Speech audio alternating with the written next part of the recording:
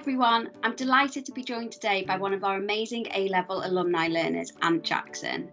Now, creative copywriter Ant has been responsible for some amazing creative concepts during her career, including one of the most recognisable taglines in UK retail. So, without further ado, welcome and thank you very much for joining us today. Do you mind introducing yourself um, a bit more for me, please, and explaining your role in a bit more detail?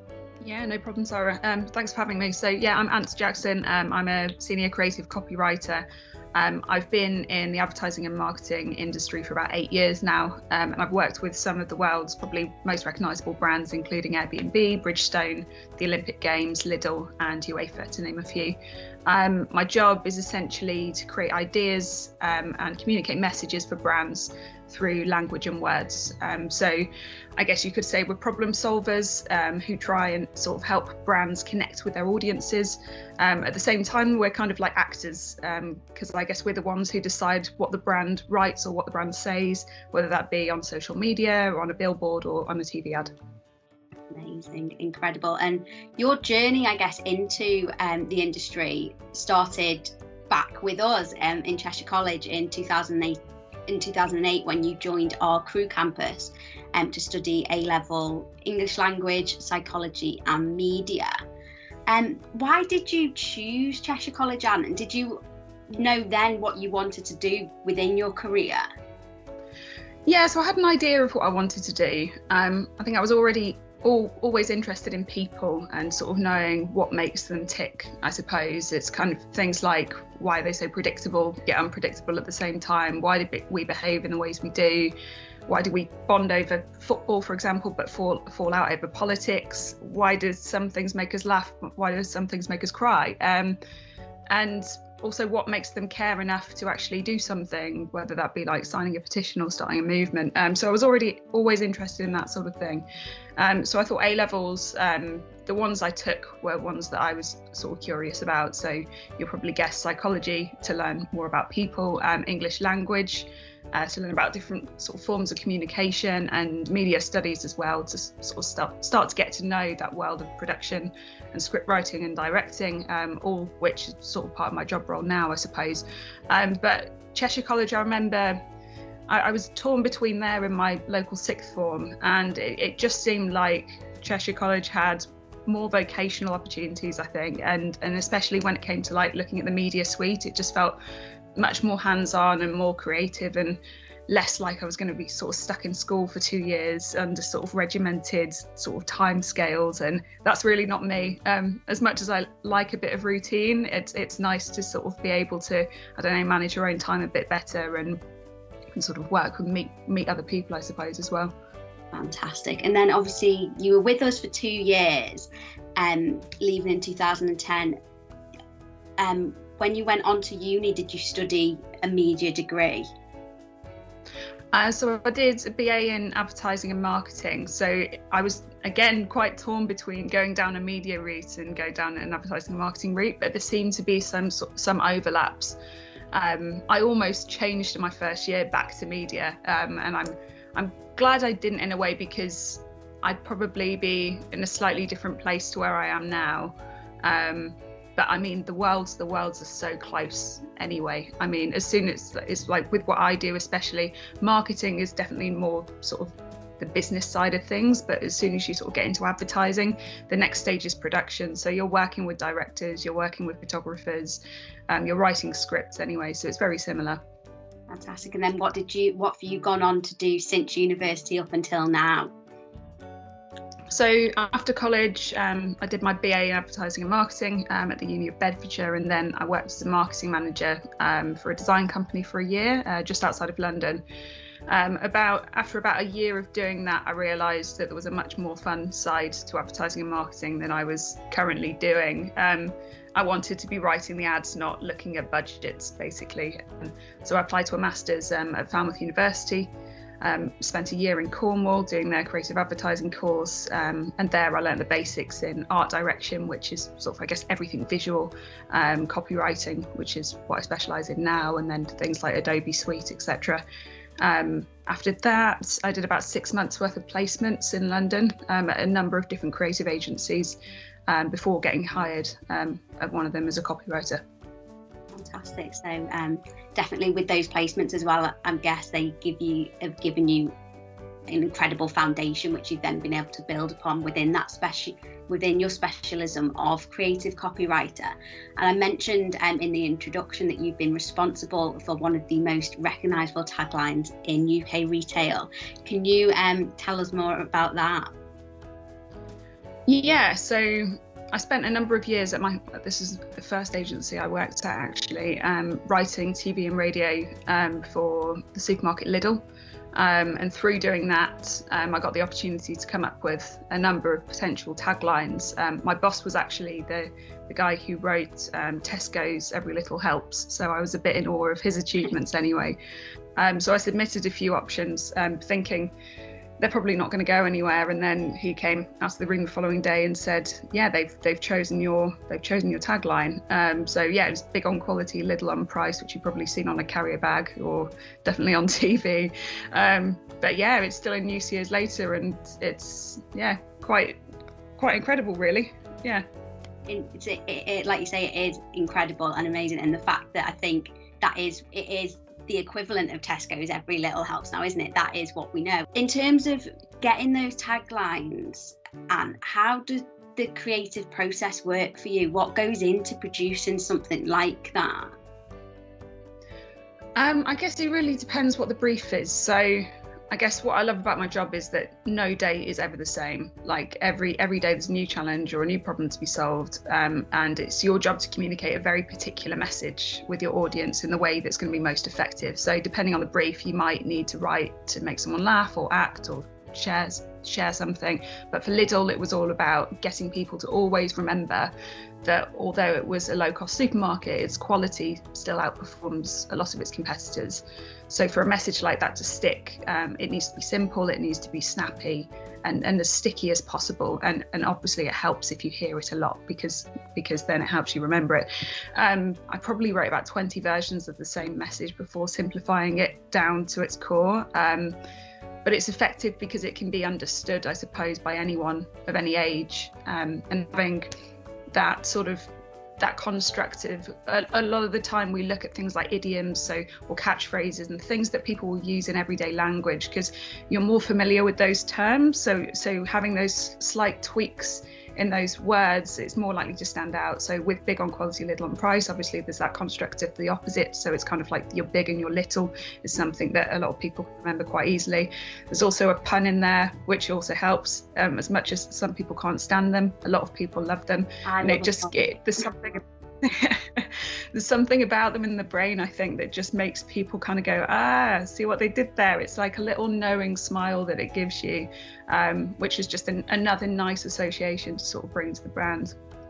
Fantastic amazing. And in terms of um, learning with cheshire college while studying your a levels have there been any skills that you learn with us that have kind of supported you throughout your career journey and to um, create those that tagline and the other um, elements of your role that you've done? Yeah, for sure. Um, I think psychology has just taught me to look deeper. And, and before you get to um, the sort of part of the job that I do, and there's a massive job in understanding audiences and people, their values, um, what drives them, what makes them tick, why they act like they do. Um, so I think that's just, a, to be honest, a really important life lesson as well as a career one because it just uh, allows you to understand people better. And I think no matter what industry you work in, that's a vital skill. Um, English language, um, it's communication. So, of course, it's really helps because I work in the um, communications world now. So, um, obviously, it involved a lot of reading and writing and coursework, um, which is kind of I guess, trained me for what I do now to a point. Um, it definitely trains you up for uni with all those sort of dissertations and that sort of thing too. Um, and it's taught me interesting lessons, I think, about, like, for example, I remember there was a module that we did in English, which um, we, we got to listen to how men and women spoke in, in meetings. And I remember learning that, like, men would be really direct. So they'd say things like, um, oh, it's um, if it was too warm in the room, they'd go, "Can you turn the Can you turn the heating down?" Um, whereas a woman will go, oh, it's a bit warm in here, isn't it? And they'd be a lot less direct. And then when it came to um, sort of asserting themselves as well, um, women were more likely to say sorry before they started talking, or they'd say, I think instead of I know. And it's all these things that I think I've just said it there. Like um, they contribute because we're all conditioned to do it. Um, they contribute to sort of how we act, and I don't think you can necessarily when you're aware of those things, you can get further because you know what to look out for and you know where society sort of conditioned you to to act a bit differently. So from that moment on, I was like, I'm never going to say sorry before I before I talk. I'm going to speak like a guy and see how that goes. And it's probably really helped me, to be fair. Um, with media, I just I just loved it. It was probably my favourite. Um, my favorite A level because of the creative element and there was that collaboration to it. Um, and it's probably the, the closest thing to what I do now because it involved things like script writing. Um, sometimes we sort of get involved with like writing director treatment. So I remember we, um, in I think year two, we we created a film um, which I directed as part of a team. Um, so it was really great practice, and also the theory side was really interesting because it kind of, I guess, it gave me a new um, perspective into sort of the world of media and advertising and how that works. Would you have any words of wisdom or advice for current um, learners, whether they're studying an A level program or a full time program with us, who are looking to break into the um, industry, or even those who are creative but not sure how to channel it? Yeah, um, I'd say just follow the things. If you're not sure how to channel it, just follow your passion and, and start. The, the, the hardest thing to do is is starting. And it's if if for example, if someone said, "Oh, I really want to um, give sort of writing an ad a go or I want to give writing a film or a book a go. It's like just start writing. Don't be critical. Just let just let that process sort of happen. Get everything out of your head and onto paper so you can look at it objectively. Um, because we're all I think our worst critics um, so a lot of people will go, oh yeah, I'd love to do it, but uh, I don't really have what it takes, or yeah, I'm not, I don't think I've got it in me. And of course you do. We we we all sort of grew up. The way I like to see life is at one point, no matter if you've won a Nobel Prize or if you're the Prime Minister or whatever else, like we all grew up basically in a nappy, dependent on our mothers from birth. So if we if we were all there, we can we can all achieve anything. Um, but for advertising in particular, um, there's I'm part of an organisation called um, Young Creative Council. Um, so you can go onto their website, youngcreativecouncil.com. They've got loads of advice on there about how to get your foot into the industry. There's a number of sort of different people that you can reach out to. There's competition briefs, so you can give, I guess, advertising a go and sort of enter a couple of competitions and awards. There's also a really great um, Twitter um, account called One Minute Briefs, which is kind of a community led um, account, which has grown now to I think something like 30,000 members. Um, but every day they they put out a brief, and it could be something like advertise umbrellas or advertise grass or anything random. But it, it, it enables you to practice your lateral thinking, and because it's grown now as well, brands are getting involved. Like yesterday, they did something where they did a campaign for WWF where they removed all the animals from a load of brands to show what a world would look like without nature. And these are these are normal people who are coming up with these ideas. They're not people who have been to uni who have practiced advertising for years. They, I think someone who came up with that idea actually works for the NHS. But it just shows that anyone can do it, and, and you don't necessarily have to sort of be see yourself as an official creative to be creative and make change happen. So yeah, I'd, I'd, just say get involved, have a look at um, one minute briefs, have a look at Young Creative Council, and also, of course, reach out to me um, if you want any advice as well. Fantastic, and we'll pop the um, links to both those in um, the post as well for people to find.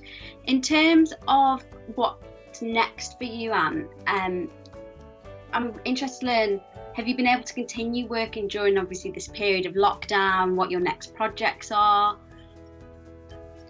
Yeah, so it's been it's been a different experience for sure. So I'm um, obviously working from home, and I have been. Um, I feel very lucky to be working from home because I think the industry did get hit quite hard, um, hard at the sort of start of I think March of last year. Um, I guess it's one of those things that when the world went into panic, of course everyone else panics too. Um, but it's it's sort of become um, a lot smoother now. I think the fact that everything's opening up again, people are getting very excited. Um, I'm looking forward to actually being in a room with people to work with them again because it's I think there's something about, especially because a lot of what we do is all about collaboration. Working through a screen can only be so collaborative. We can't throw things up on the wall or sort of draw all over the whiteboard or anything like that. Um, but I don't, I don't know. I mean, I'm an agency at the moment called Wunderman Thompson. Um, we've got a number of really sort of big, exciting clients who are looking to, I guess, do some some really exciting work next year. Um, my own sort of goals. I, I, do a lot of work in the diversity space, which I absolutely love doing, because um, I think, I guess, as advertisers, we're we speak to a lot of people and we've got a lot more influence than we think. Um, and I think we've got um, an opportunity to be able to really sort of help shape society for the better. Um, so I love being involved in projects where we can actually sort of push society forward and make some positive change because you know the world's still full of problems. All you've got to do is kind of look on the news and see what's happening in America and you know, sort of like thinking about sort of how can we counteract climate change and those sort of things. How can we make people make those small changes that are going to make is going to make our world better for all of us, I suppose. So that's the sort of thing um, I'd like to sort of focus on in the future fantastic. That's brilliant. And thank you so much for your time today. I really appreciate it. Um, and good luck with all the um, future projects. Uh, thanks very much.